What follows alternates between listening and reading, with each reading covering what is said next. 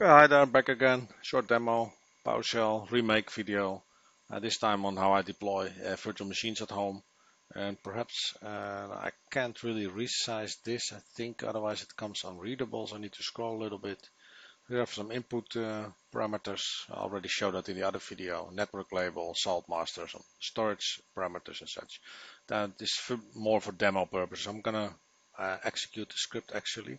Let's see if I have the correct PowerShell version because this script doesn't run in PowerShell 7 because it uses, uh, yeah, that's 5, that's fine. Because it's using some SSH stuff under the hood. And uh, I am going to press the debugger there. I'm going to explain the script also a little bit again. Not in too much detail. New VM name, this guy, we need to provide that now here. So I call it test01 for now and the operating system will be uh, CentOS 7 doesn't matter I have a lot of others as well. I uh, install it on my hypervisor too. And now we are in the in the switch block. And the switch statement check the input and we gave us input CentOS so let's see 20 false false false false. CentOS should be true and it is. And then we set some variables. Those are all needed to deploy the system right then we continue. Those are all false, of course. Red Hat as well. Then we flush the DNS. We set some some stuff. Log file. Uh, doing some stuff here. We're protecting some client credentials. Those are uh, protected with the certificate. I'll show that a little bit. So here, for instance, you have the domain credentials. See, those are encrypted. Those are uh, now in uh, uh, in memory and we create some credentials for that. You see some credential objects. We need those to reach out to the some Linux boxes, for instance. Uh, the CentOS box itself we're deploying now. We need to set the IP address and such and the system name. And uh, uh, for the other Linux box, that's the Saltmaster, we need to approve the key there we import some modules. We set like the disk for the system. We're using an ISO file or not. We're doing some statements here on the, if we use an ISO file, if we do that, we remotely reach out to the hypervisor and copy the VHDX, so light the, the image over. It shouldn't take that long. It's not needed to pause, I think, still. I paused it a little bit. And now we can see how long that actually took, 21 seconds. And now we create a new VM based on a module by the way. I show that in a second. Uh, if you go here, you have like a, in the same script folder, you have like a helpers module. Inside of this helpers module, you have functions. I go back, by the way, here.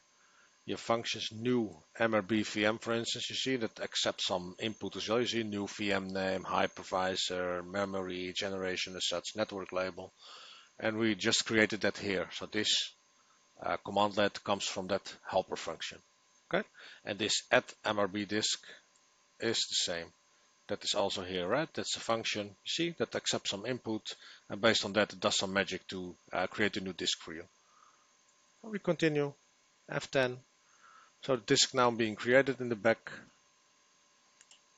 We are changing the CPU count of the VM. If it's an ISO file, we mount the ISO, we mount an ISO file, but it's not a, it's a, not a ISO-based installation. Uh, it is Linux, so we switch off secure boot. That's not supported. Here, so we set the boot order for the VM, so that the hard disk is the first boot device. Uh, it's not Windows, so this will be evaluated to false. You see, if I hover on this target OS, you will see that it is Linux, not Windows. So this if statement will never evaluate to true, so it will never come in this block. So this will be skipped. You see? So, and now we invoke a command uh, to add it to the cluster, and I'll show you that. So here I have my cluster manager with all my virtual machines and currently I don't have a test uh, 01 machine. Uh, yes, exactly. So now we go back here and we do, uh, I will zoom it by the way, one second. See, I don't have any test 1 VM here, right? Go back. Now we invoke this command. Now it's added to the cluster in a second. That's executing now. So if we go back now to the, you see there's something happening there. So if we go back to the cluster manager, we now have a test one here. Notice that it is switched off. See, it's off. Test one. Go back to the script, we continue. Now we start the VM.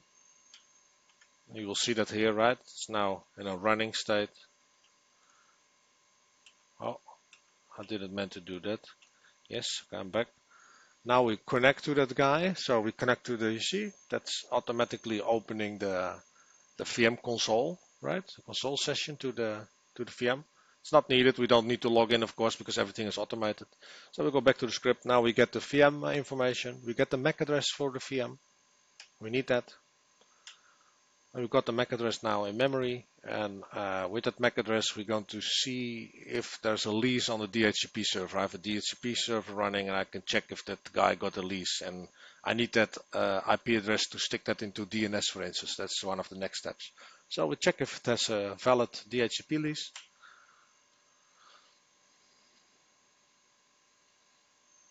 And it will take some time, of course. It's reaching out remotely to another system using different credentials. You see, it's using here domain credentials. It's reaching out to this remote server.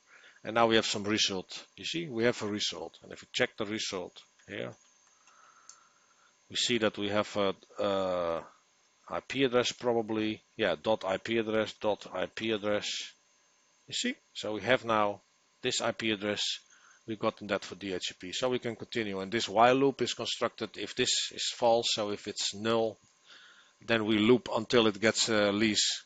Because for Windows, it takes a little bit longer than for Linux, uh, for instance. And then uh, uh, this while loop is just to wait until the system gets a lease from DHCP. Otherwise, you can't continue. You know you have no IP address. So we continue, and this will be false, of course, because it's not null. Now we get the IP address like I showed you with that now nicely in memory, you see, nicely stored in memory. Then we check if the target OS is, is Windows, and it's not. So that won't execute. This will be executed because it now also not, you see. And now we add it to DNS. So again, we're reaching out remotely, and I'll show you if I now do a ping uh, test 01, right? We call it test 01. See, it takes some time can't resolve and dot .home dot .local because that will be the full qualified domain and you see not found.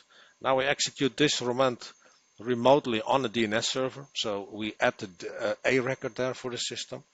And uh, let me flush my DNS first because otherwise, uh, yes. Let's see if we now ping the system. You see, we can ping it. So it has been added to DNS successfully. So we can continue because one of the next steps is SSHing remotely to that newly deployed system and running some bash commands there. And uh, we need a uh, computer name for that, of course, in DNS to connect to the guy.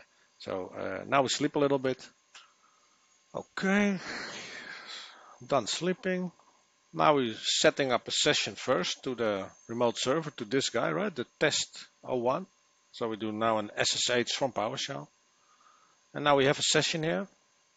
See, we have a session connected through to that remote guy. And on that session now we can remote commands, invoke commands, I mean SSH commands. And uh, what we do specifically here, I'll close this guy. We run just a Linux command, right? Hostname CTL. We set the hostname to the new uh, VM. And then we do some replacements with sed. You see the sed command here. We do some replacements remotely inside of a minion file to replace some stuff there. If it is Red Hat, we do some extra stuff, but it's not Red Hat. Uh, and we replace something else in the minion as well. That's for the master. That it points to the correct salt master. Then we enable the salt minion remotely on that new system.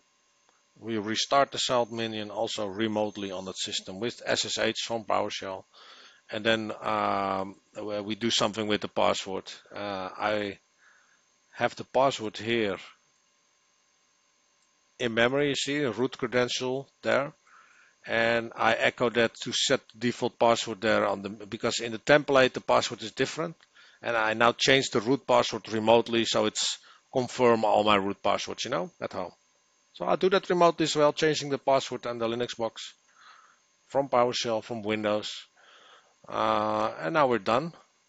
And we sleep a couple of seconds and then we remove that SSH session uh, from memory. So it's gone. I won't pause for the 10 seconds. It should be fine. Yes. And now we remove the session. So it's just been disappeared now.